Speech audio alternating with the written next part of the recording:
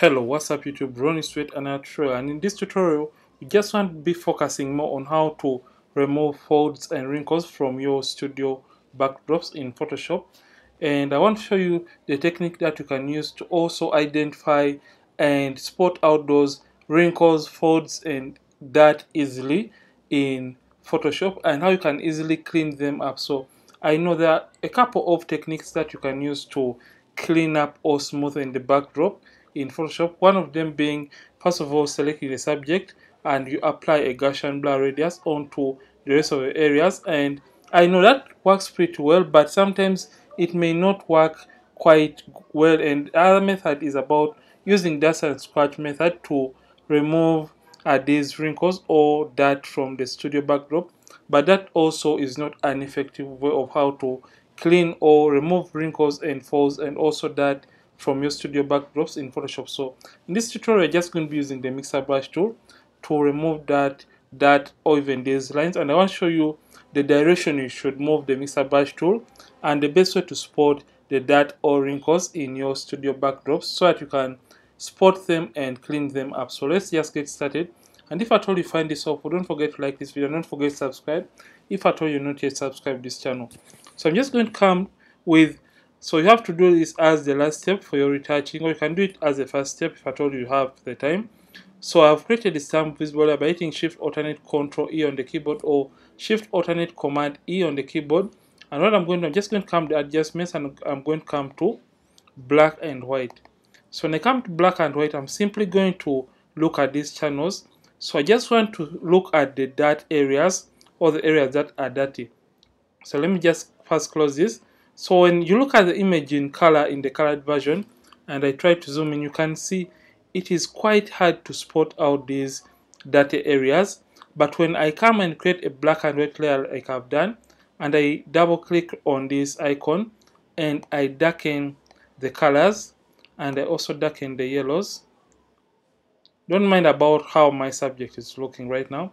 You can see, right now we can see every that area and every wrinkle within the image well and even better. Just look at this line which is here. It is very hard or slightly hard to look at it or visibly see it. But when you turn it into black and white, you can see every tiny wrinkle within the image. Just look at this dot right here.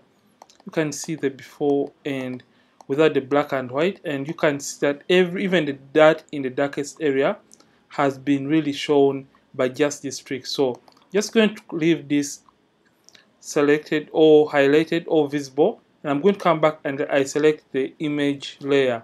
So you have to come and select the image layer and you come under the brushes, simply right click and you select your mixer brush tool and the settings I would recommend for this process.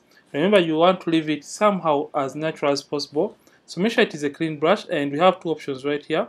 The first one is load the brush after each and every stroke and the second is clean the brush after each and every stroke. So just come and select the second one because we don't want to carry color from one area to another.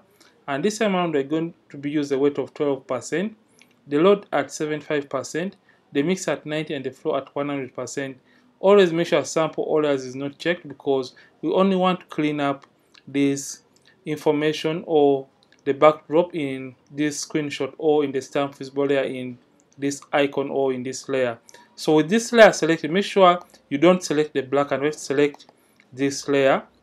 And we're just going to start removing uh, that, that. So just make sure you left click and start moving your cursor or your cursor. If at all your, your mixer brush tool is looking like this, just make sure you turn off the caps lock key and you can now come and proceed. You can see we are now cleaning up.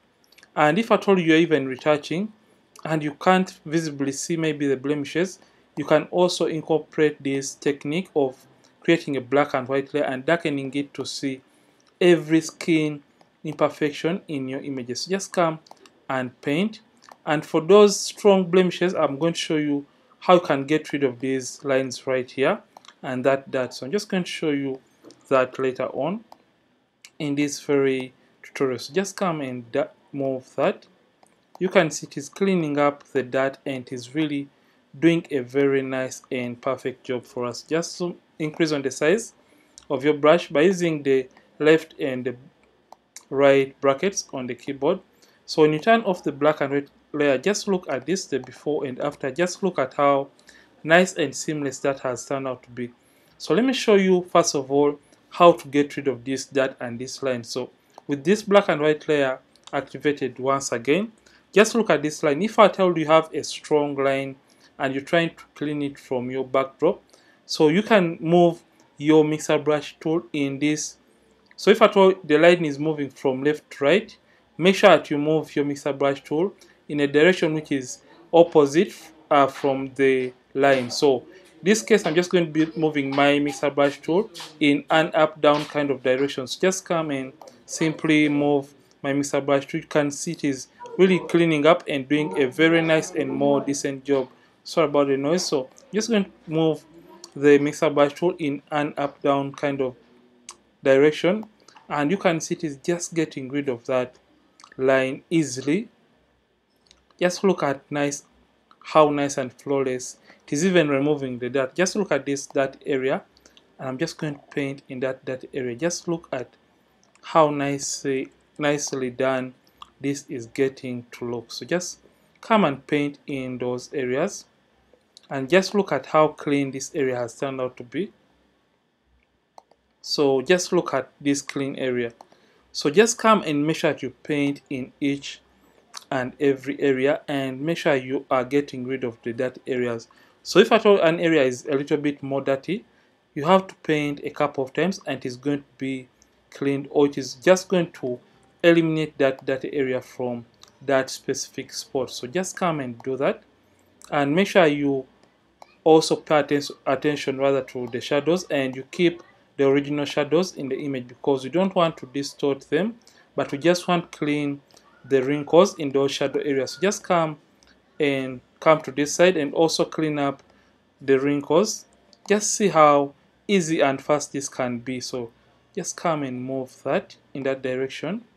And you're going to be cleaning up the image or the backdrop in this case very fast nice and easily. So just come and paint in. Just look at how seamless this is turning out to be. Within just a strokes or a few strokes of just painting in with the mixer brush tool. So for a way bigger area just create a bigger size and just paint in through using the mixer brush tool. And it's going to do for you a perfect job. So you just make sure to keep on zooming in and out and you work on the image depending on how small or how precise you want the clean area to be. So you can see if at all I was getting rid of those lines I just had to zoom in and get the job done in this case. Just come and clean up the wrinkles in these areas and just see how nice and seamless this has turned out to be. So basically I prefer this technique for using uh, the mixer brush tool because it is really nice and effect effective and it gets the job done quickly and easily. And even someone who is not used to using Photoshop can really get or clean up the backdrops very nice and easily. So just reduce on the size and just look at how these dirty areas are just going to be cleaned with just a single stroke. Just look at this. So I'm just going to clean up this and show you the overall results. So let's just have a few seconds just about 10 seconds and we're going to show you the results for the cleaning of the backdrop in this case. Reduce on the size and you work on a closed area. And you can see you can see that these that areas just click and clean them. And you can see it is going to do a very nice and perfect and as well as decent job. So like I said you have to zoom in and paint in for closer areas so that you don't distort the original color. You have to be careful and it is going to get the job done for you at the end of uh, the clean up process. So just going to zoom out and I look for the blemishes that may have been forgotten or those that may have remained within the image. And with that just look at how nice and seamless this looks in this case. So turn off the black and white layer and you look for those areas that you may not have blended in quite well. Just look at this and I think this is a line let's just get rid of this line right here and just blend it within the backdrop so that we can have just a shadow and just look at this how nice and clean this is in this case so you can see the before and after for just cleaning up the backdrop using our mixer brush. So basically this is how to clean up your studio backdrops in Photoshop and if at all you have found this helpful don't forget to like this video don't forget to subscribe this channel if at all you're watching and not subscribe this channel Ronnix from Ronnix Photography. Thank you for watching and I'll see you in yet more amazing tutorials. And don't forget keep practicing and also keep creating